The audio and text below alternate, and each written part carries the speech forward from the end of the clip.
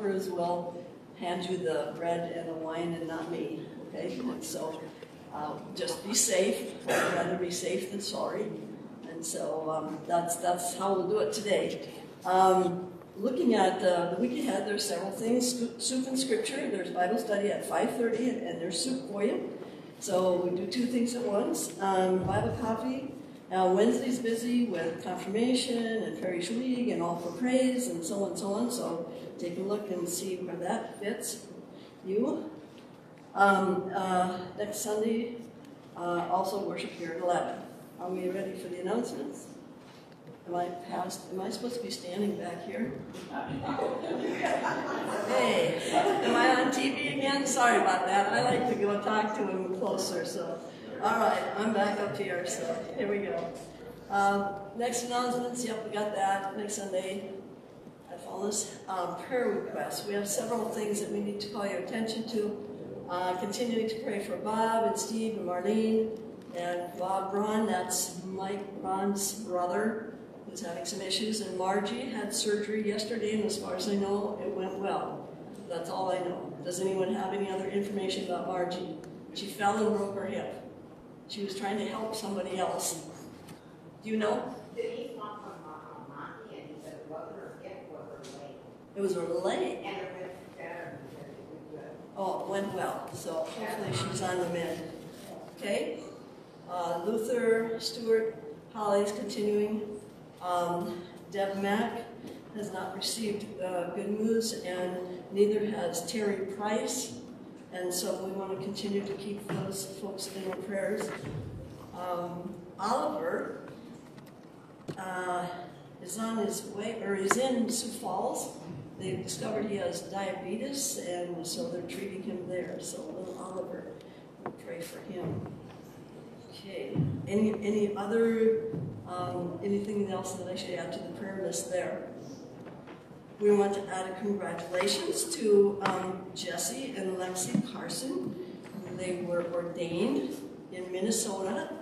Uh, Alexandria is one of them, Monsiela Osakis. All right, so we want to congratulate um, them on their ordination into the ministry, and we'll continue to pray for them as they share and, and pray God's blessings on them. All right, any other announcements as of now? If not, we will continue with our worship. As, oh, any birthdays, anniversaries? Am I missing anybody? Got everybody? Nope, nope, nope. Okay. Please stand as we begin our worship then this morning. And today is a mountain Sunday, so we welcome you to the mountains.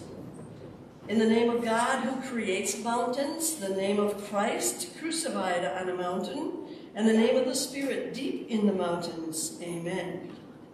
Holy, holy, holy. Earth is filled with God's presence.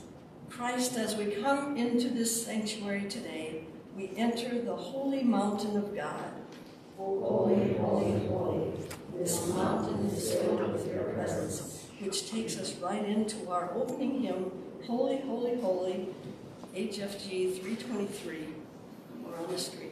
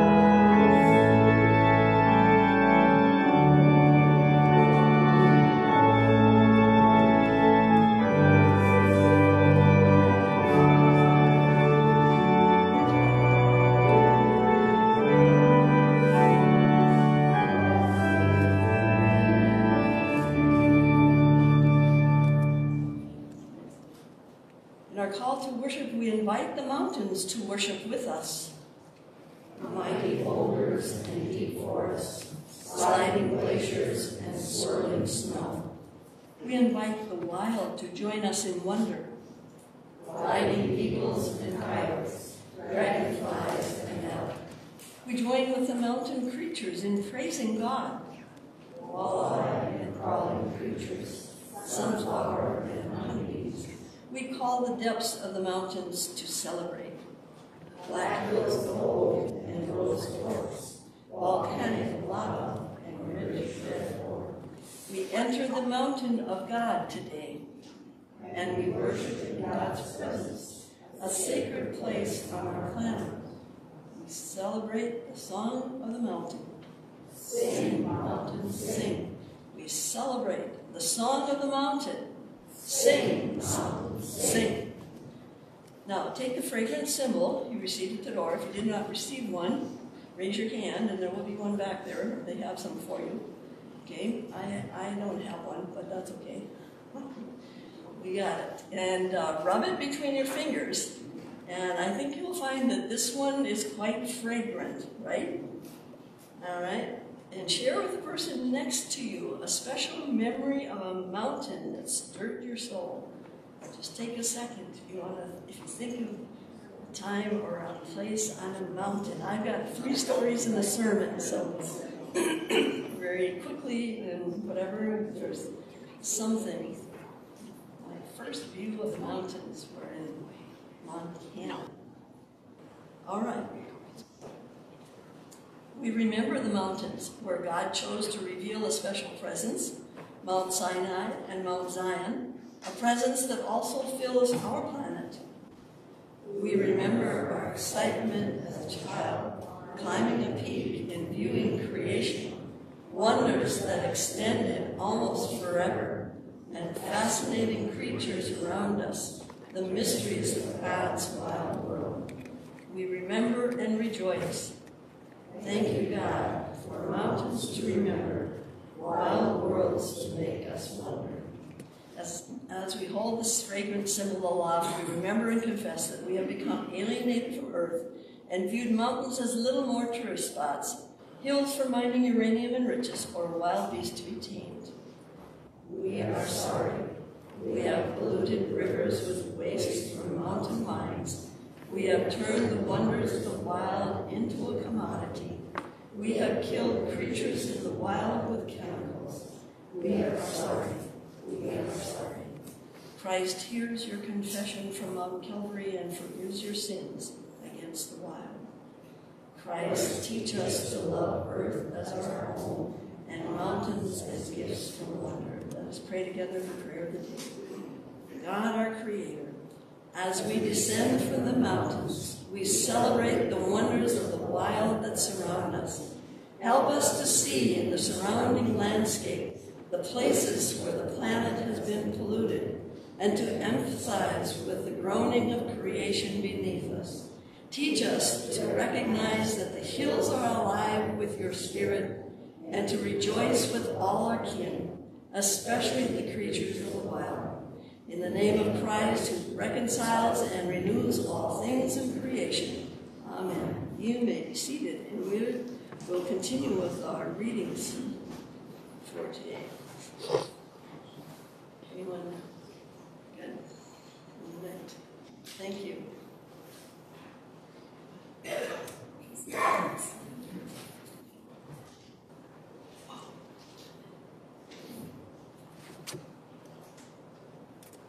Old Testament reading is from Isaiah 65, Good News from a Holy Mountain. The prophet dreams of Mount Zion being transformed into a peace mountain, an ecosystem where humans and animals live in harmony. Look, I am creating a new heaven and a new earth. Past events won't be remembered, they won't come to mind.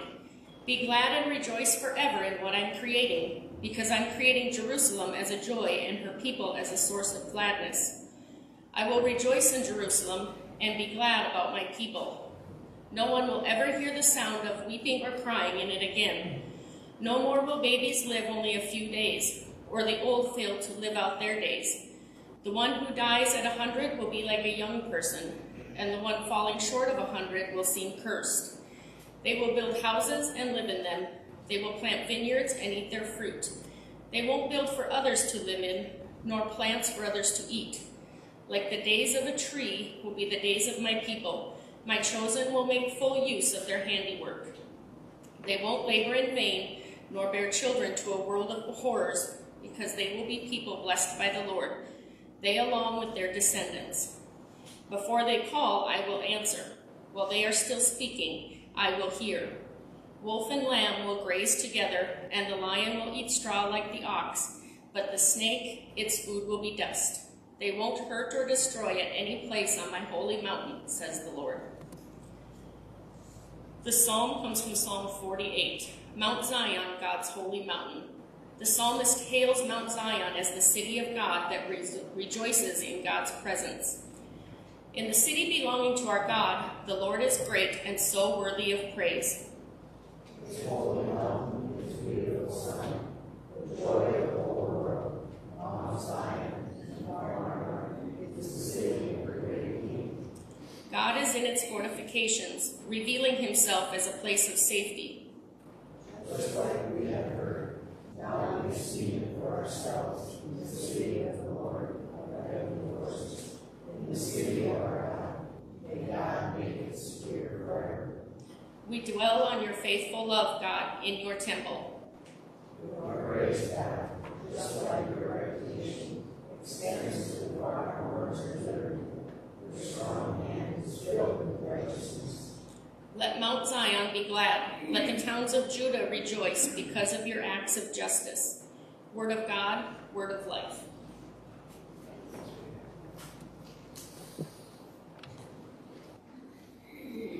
Please stand for the reading of the gospel.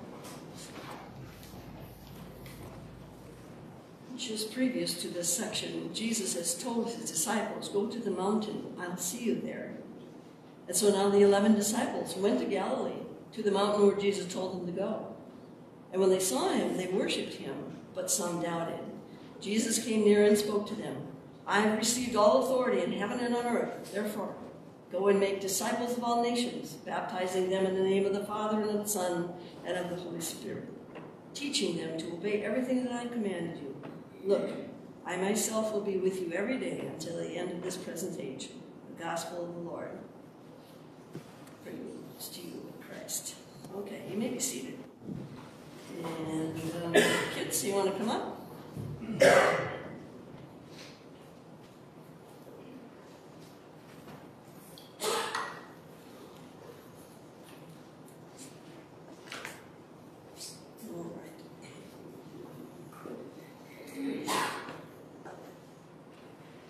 Have you guys ever seen a mountain? Ever been to the mountains? How many of you have been to the Black Hills? Okay, then you've all seen them mountain, right? Good, okay. Um, have any of you seen the Rocky Mountains? Like that would be in Wyoming or Montana, whatever. How about the Catskills? Cascades? How about the Alps? I've been to every one of those. Can you believe that? Well, you should. It's true. I have. We rode a train up the mountain in the Alps, and it was really interesting. Um, if you can think of one thing, like when you were in the Black Hills or whatever, that you remember, okay? Can you think of something that you did either out there or what you thought about the mountains, how big or how small or whatever they were?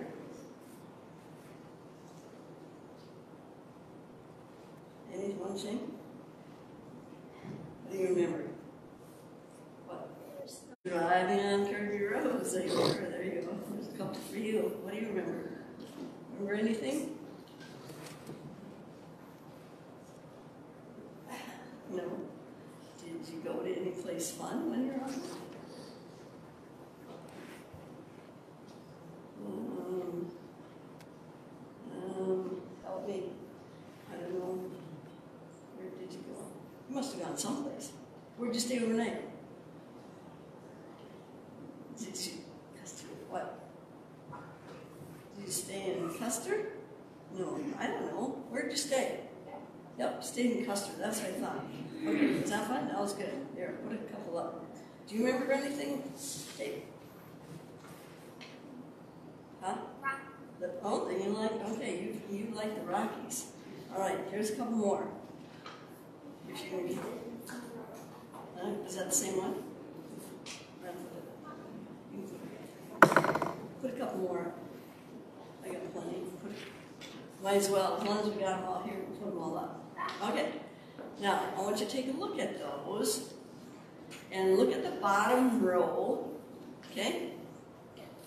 Doesn't have a thing on it? Okay, that's great. Look at the bottom row. What have we been talking about? You remember the first Sunday? It was all about creation. Good job. Okay, creation is the bottom row and things that God has created. What's the second row? What did God create? People. Good job. There you go. And the third row, He created what? The sky. The sky. Good job. And then today we're talking about what? Mountains. Okay. So this is the last Sunday that we're going to be talking about the things that God has created like that. And so it's kind of been kind of cool, hasn't it? Of all the things that we think about and the things about our world that we have. Um, the thing that we're going to kind of center around though a little bit is like God's mountain. It talks about a couple of places like in Jerusalem where quote, God dwells. Did you know that the, the church in Jerusalem, the synagogue or the church there, is at the, kind of the top of the hill. So you can see it from all over the place. Have you ever been on your road to Britton sometimes and you can see in the Amherst elevator? Can you do that? You've seen that, can you? Have you guys ever seen that? It's amazing that when you get, you know, when you see something or something at the top of the hill, you can look down and see something or you can see it up high. God's mountain is a very safe place for us. Okay, that's where God lives, and it's and and uh, if if I remember, I heard a story one time that they put glitter in the in the stuff around the church and that, and so when you looked at Jerusalem and the church in Jerusalem, it would not only you could not only see it, but it would like glitter in the sun. So that's pretty that's pretty neat. Um, um, I remember um, my first view of the mountains, and it was uh, we were driving across Montana, and everything was kind of flat, and all of a sudden in the distance we could see these big black mountains way off in the distance, and it was really a really a cool thing for us to see. Um, I remember seeing Mount Hood. Um, you ever heard of Mount Hood? That's in Oregon. Anyone here seen Mount Hood? Nope, just me. Jeez, where have you been? um, anyway, Mount Hood, you can see that mountain from like 50 miles away. When you're coming down the river and the Columbia Gorge, you can look ahead and you can see it sometimes between between the trees and stuff, 50 miles away or more. That's how big Mount Hood is. So that's pretty cool. And mountains are neat. Mountains are neat. And in our text for today, God is talking about the mountains and how he wants to live in the mountains. And sometimes, if you think about it, we are God's mountains too. Because we have some of the same qualities of mountains, how they're steadfast and faithful and, and um, the awesomeness of the mountains. So we are going to be a part of God's mountain and we are going to remember that God lives in the mountain and that God lives in our hearts. Okay, and you had that little smelly thing. Did you guys get smelly things? Yeah, I had that. Okay. Oh, and what did it kind of smell like? I'm not going to touch it. What did it smell like? Cinnamon. Kind of a little bit. And also, if you got a green one, what's the green one smell like? Pine. Pine. Well, not pineapple, but pines, like pine cones and stuff like that, because that's part of the mountains. And so it's kind of like minty flavor, right? So, okay, book. Let me see if you can rip that apart and share it with everybody here. Good job, and I, I finally figured out that if you buy the kind with those tops, they're way easier to open. You get those other ones, I never could get, get, I get open. All right, have a couple. You want to pass them out, see if anybody else out there wants one. Oh, pray with me before you go back, just for a second. Oh, Lord, we thank you, Lord, for the mountains. We thank you, Lord, for even the mountains in our lives because they teach us lessons. We thank you, Lord, that you live in us and that creates a bit of a mountain, an awesomeness and faithfulness and an eternal kind of thing in each one of us. So thank you, God, for mountains. Amen. So share the love. And if you run out, there's another one here. It's, and I only had one for Patty, so it's regular chocolate, so you can, you can pass those out. Okay, thanks for coming up.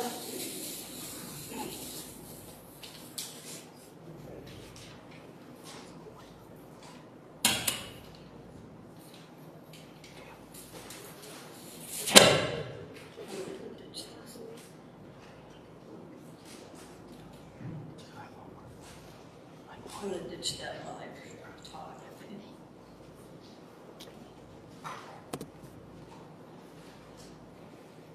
All right, let us pray.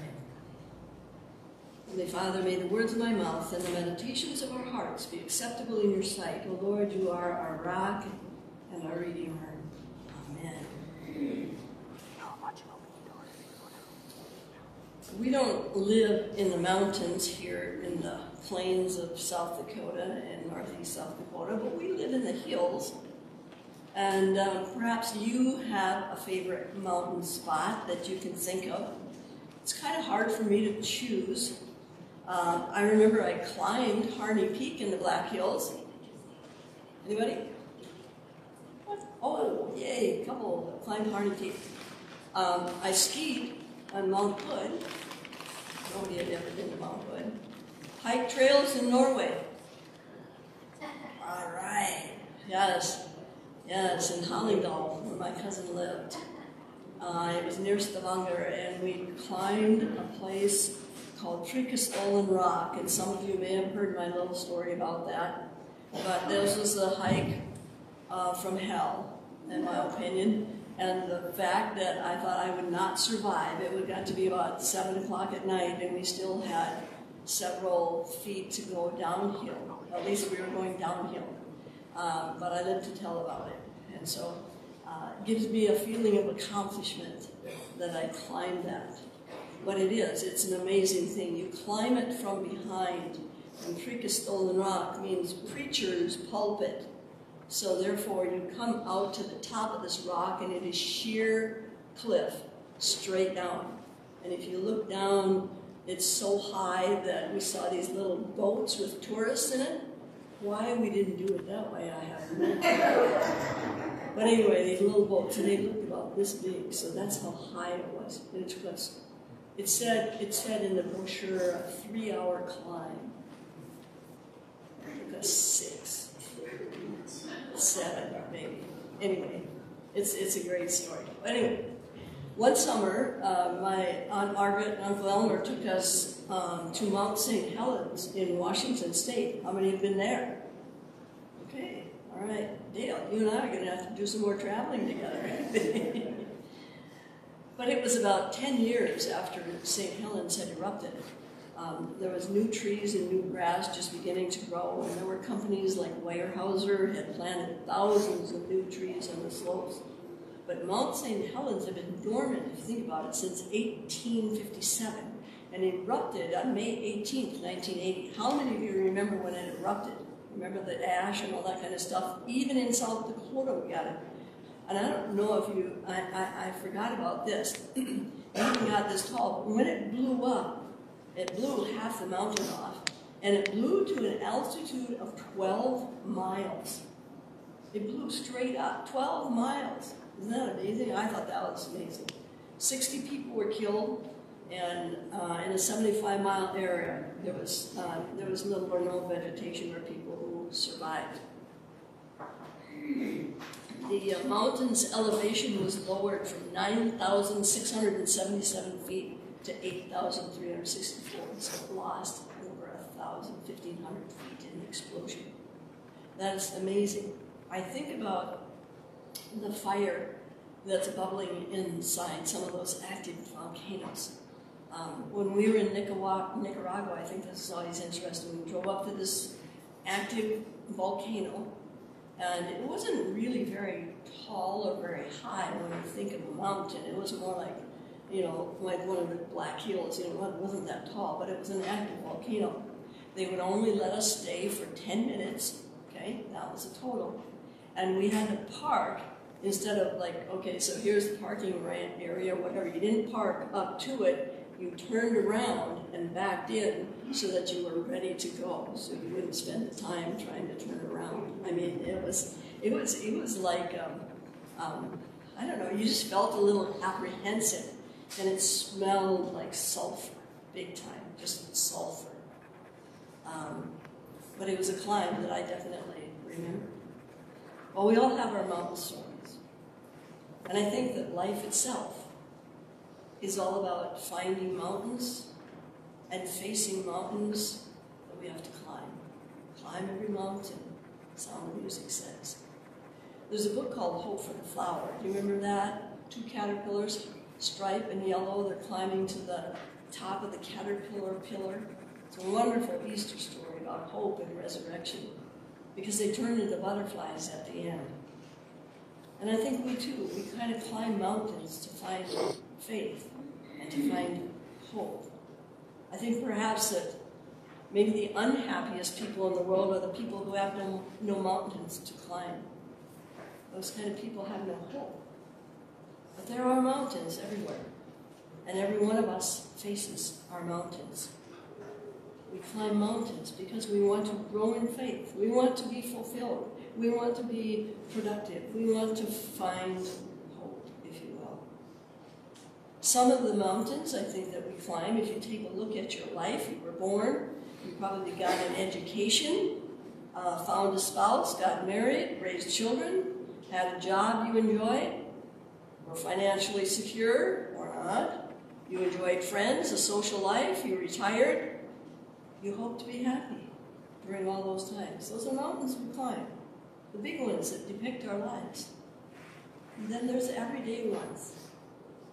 How to get the harvest in the bins before it rains.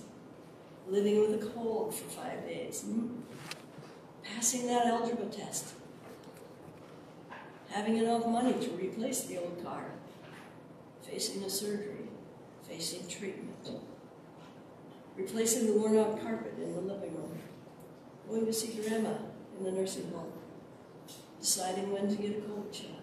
Those are everyday kinds of mountains that we face and with. And then there are spiritual ones. Oh, I've been so busy, I don't have time to go to church. That's a mountain. Well, I hope she won't notice that she gave me too much change back. I don't know how to tie a quilt. Church council meets on basketball nights. They can do without me. I can't help with youth group. Visit a nursing home? Change my life? Commit my life to serving God?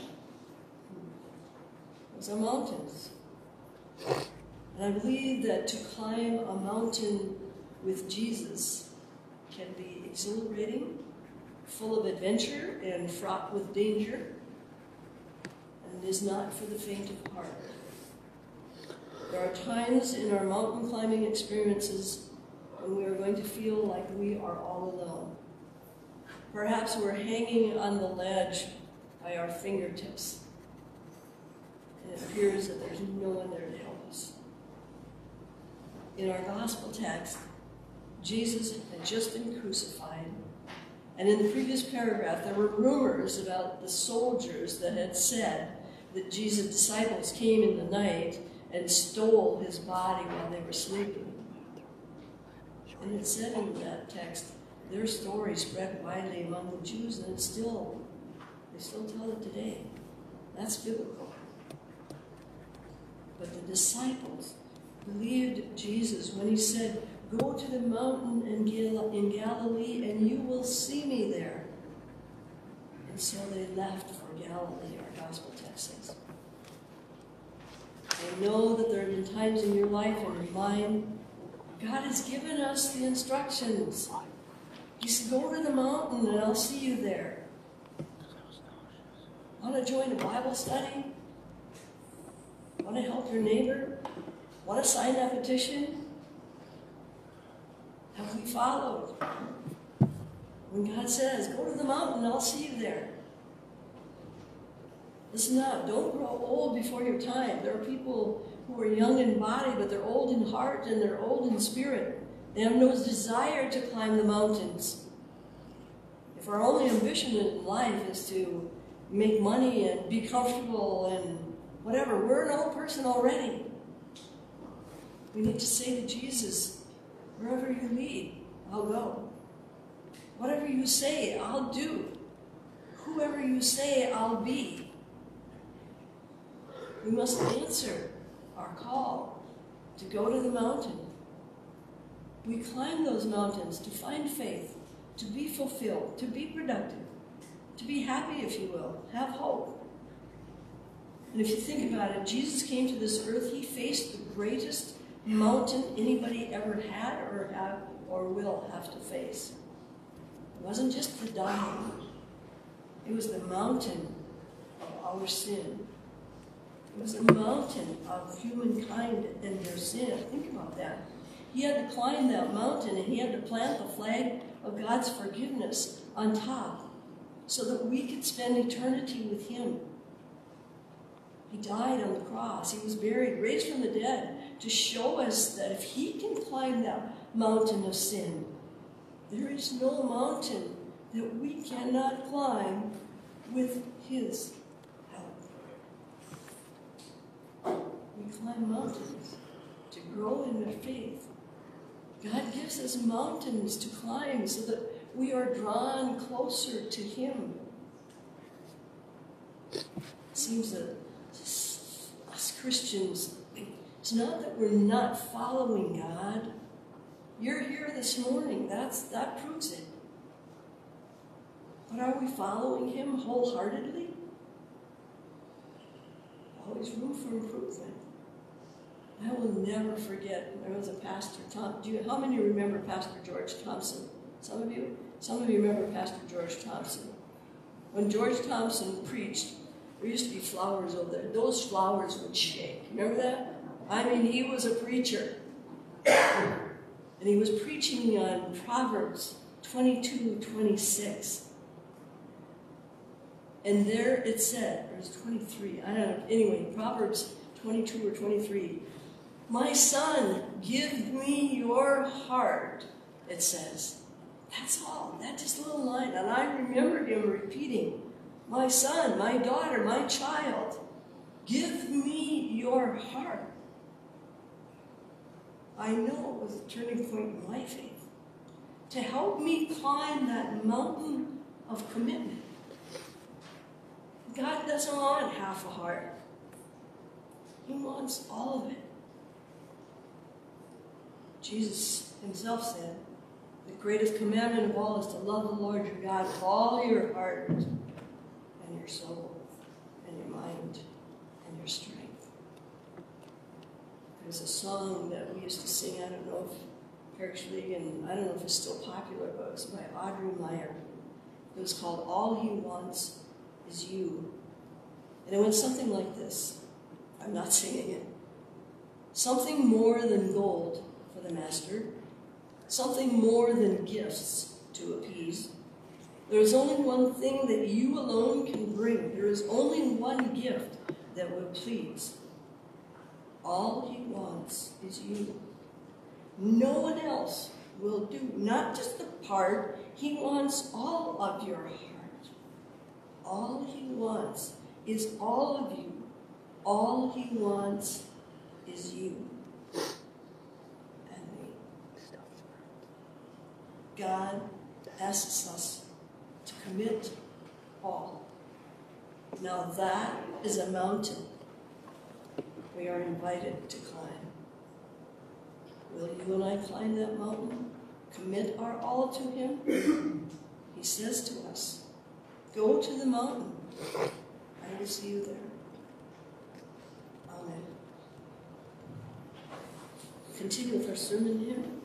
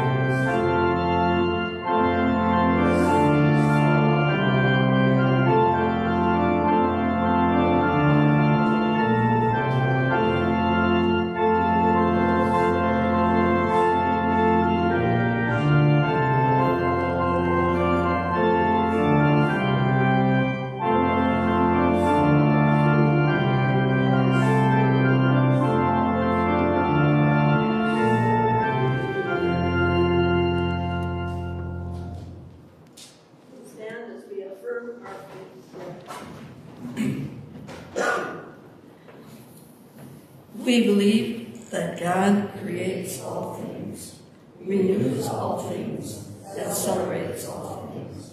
We believe Earth is a sanctuary, a sacred planet filled with God's presence, a home for us to share with our kin. We believe that God became flesh and blood, became a piece of earth, a human being called Jesus Christ, who lived and breathed and spoke among us, suffered and died on the cross for all human beings and for all creation. We believe that the risen Jesus is the Christ at the core of creation, reconciling all things to God, renewing all creation, and filling the cosmos. We believe the Spirit renews life in creation, groans in empathy with the suffering creation, and waits for us for the rebirth of creation. We believe that with Christ we will rise, and with Christ we will celebrate a new creation. Peace of God be with all of you. Let us share the peace of the Lord with one another. Peace of the Lord be with you. You want to share it or say hi, whatever. And then we will continue with our offering. You may be seated. You may be seated. We'll continue with our offering.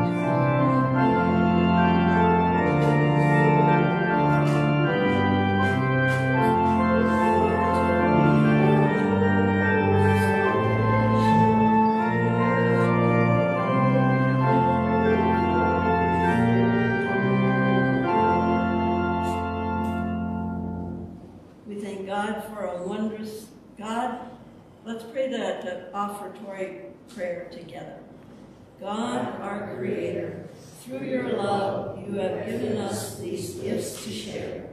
Accept our offerings as an expression of our deep thanks and our concern for those in need, including our fellow creatures on planet Earth. With all creation, we bless our Creator. Amen. We prepare for the prayer of the people. We thank God for a wondrous creation. We celebrate with all our kin, we pray for those in need as we name them now. So let us pray for the church, for all of its creation, and for all those in need. Father, you hollowed out the valleys and raised the mountains up. And so we celebrate your mountains, creation, and the challenges to our faith. We celebrate your faithful love to us and the righteousness we find in your holy mountain. Lord, we especially pray for the farmers as they harvest the crops. Keep them safe. Help sustain the hope of a bountiful harvest in our fields and in our lives. Lord, have mercy. Jesus, you made the mountain of Calvary a holy place because of your forgiving suffering and your death. May we accept your faithful love and commit to following your commands. Today we especially pray for Margie she recovers, um, for Holly and treatments, for Oliver and his new diagnosis, and for Deb and for Terry as they continue to praise God. Uh, we also thank you and pray for Stuart and Luther and Bob and Marlene and Steve and Bob. And Lord, we congratulate Jesse and Lexi on their ordination. May they be a blessing and may you bless them forever. Lord, in your mercy. Holy Spirit, you have made the city of God to share the joy of the whole world.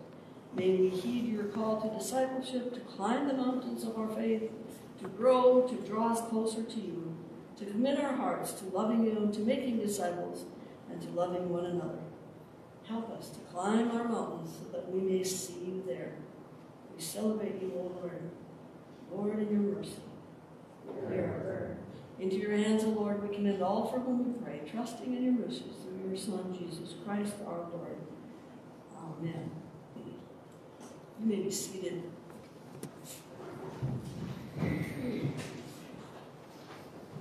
At this time, we will continue with our meal on the mountain.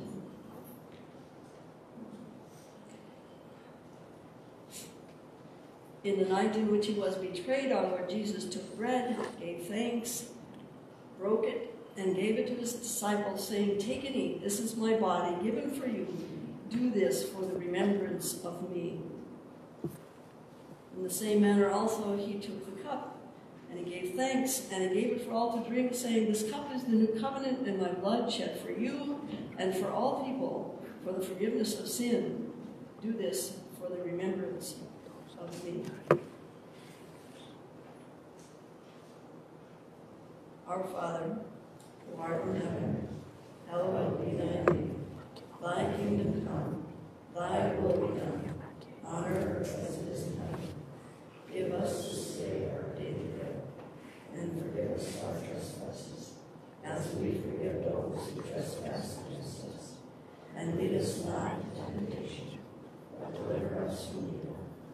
Thine is the kingdom, and power, and glory, forever and ever. Amen. Come, for all ready, and I ask the two gentlemen to come, and one will have the wine, and one will have the bread, and, um,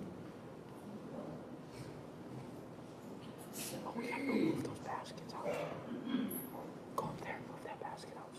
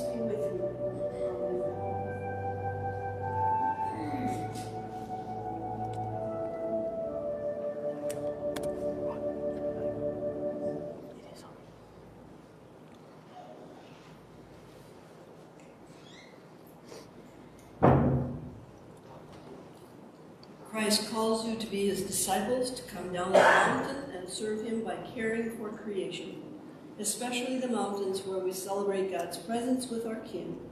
Hold again the fragrant symbol in your hands. Will you care for creation? We will care for creation. We will rejoice in the mountains. We will celebrate God's presence. Receive God's blessing. May the Spirit of God blowing from the mountains fill you knowledge of God's presence on earth and the pulsing of Christ within you. Peace be with you.